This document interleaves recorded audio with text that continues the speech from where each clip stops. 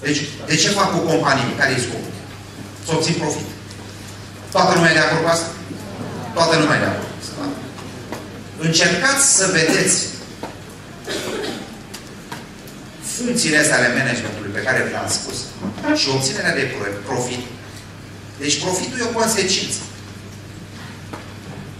Cine va aduce profit? Hai să vedem. Mai, cine aduce profit?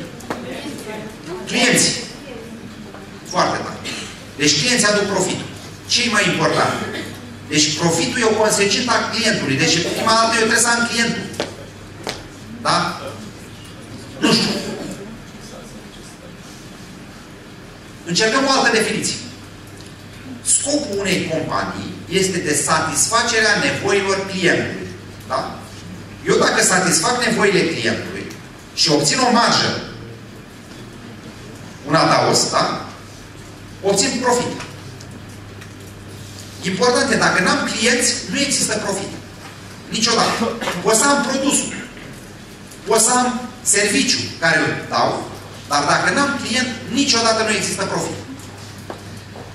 Deci aș vrea să vedeți perspectiva celor patru funcțiuni de previziune, de organizare, de comandă, coordonare și control prin perspectiva clientului. Eu de ce fac previziune, organizare, comandă, coordonare și control? Le fac pentru a satisface o nevoie. Exact cum a zis Ignaciu la început. Spiciul lui cu asta a început.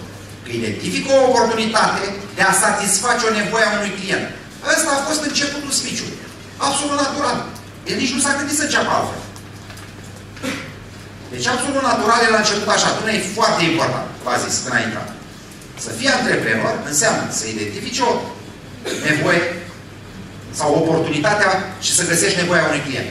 E extrem de important. Toată lumea îi se pare un fapt absolut firesc. Sunteți toți de acord cu asta.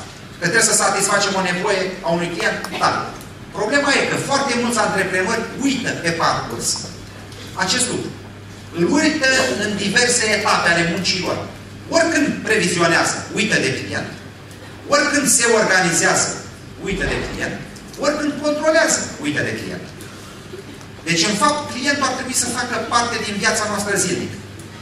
Să înțeleg nevoile lui. Ce înseamnă să înțeleg nevoile? Să știu cum gândește clientul. Adică îmi fac așa o fișă mare și scriu client. Și văd. La ce se gândește clientul? Scriu. Ce gusturi are clientul? Scriu. Ce bea clientul? Scriu. Ce mănâncă el? Cum doarme el? Pe care parte? Pe stânga sau pe dreapta? Doarme în picioare? Cum sunt copiii clientului? Și scrieți. Cum este soția clientului? Absolut tot. Un antreprenor care își cunoaște foarte bine toți clienții și a definit, are o șansă de succes mai mare. Deci trebuie să fiți în mintea clientului. Dacă reușiți asta. De multe ori, majoritatea antreprenorilor se ocupă mult mai mult cu munca. Da? Ei muncesc și uită. Uită lucrurile astea. Ei vor să facă un produs bun. Dacă e tâmplar, face un scaun bun. Dacă e agricultor, vrea să facă producție cât mai mare. Și toamna zice, bă, dar nu prea e prețul bun. Sau nu are cui să vândă. Se întâmplă asta. Deși vă spun eu, se întâmplă în general.